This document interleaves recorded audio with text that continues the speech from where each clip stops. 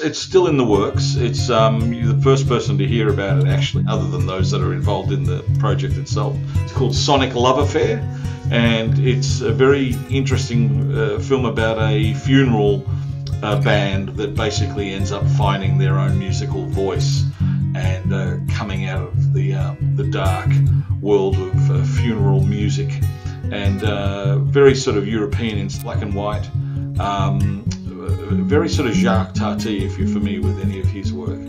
That's what I think people love about your films. They have this dark humour. So that's what we can rely on you for. I can't wait to see it. It sounds incredible.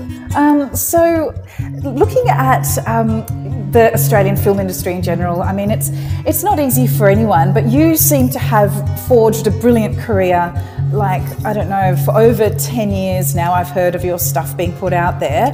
Um, so, we'd love to hear a bit more about how you've been making it work. Um, you've got a studio that you are mm. working on. I think you're there at the moment. I What's am, the yes. plan with that? To answer your first question, it's just blind, stubborn persistence is the answer. Um, I think it's very, very hard for anyone. To, I was talking to um, some of the interns we have here today about how difficult it is to, to make films, and um, anyone that that is successful or otherwise will tell you that they've had a slate of projects that they've been wanting to get up, um, and you never quite know which one is going to um, hit the mark or, or get the attention of of generally those with money that will make it uh, doable. So the answer to the question is it's just yeah pure blind persistence. Um, you know, uh, sort of for want of a better word, maybe. Um, maybe an unrealistic sense of your own worth, uh, where you just uh, basically keep selling your ideas to people until something sticks.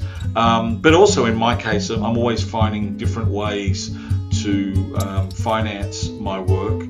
Um, and I, so I, I, do like carving things up a little bit. I, I, enjoy acting from time to time, really because I think by being an actor, I get to learn how to direct better, I hope. Uh, by being in an actor's shoes, hopefully it helps when I come to working with actors.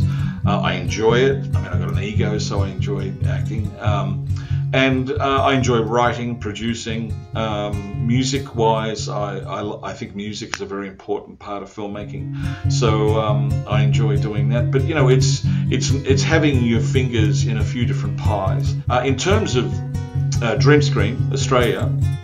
Uh, I had no intention of building a, a film studio.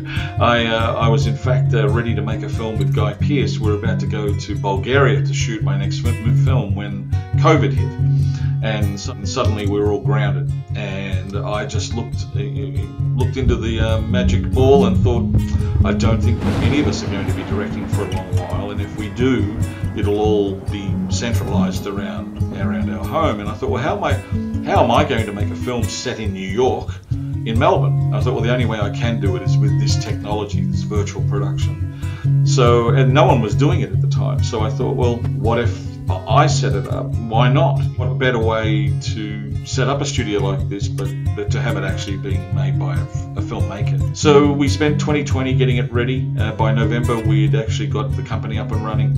We've been running for a couple of years. We've worked on many TV series. We've just finished our second season of uh, Universal NBC's La Brea, uh, that TV series. So we've been doing some great work on that and a lot of commercials. And basically, what it is is we put we have a giant uh, LED screen in our studio that's about 15 meters long by six meters high, and we put an actor in front of it. And with the, the technology we've got, we can make it look like that actor is actually at that location. So uh, it's it's great great new sort of um, it's how the, the, the Mandalorian was shot. A lot of productions are using this technology now. That is so cool, and and to think that you're making it happen with your own hands, that's really it's, it's commendable. It's so wonderful that we're connecting today about this.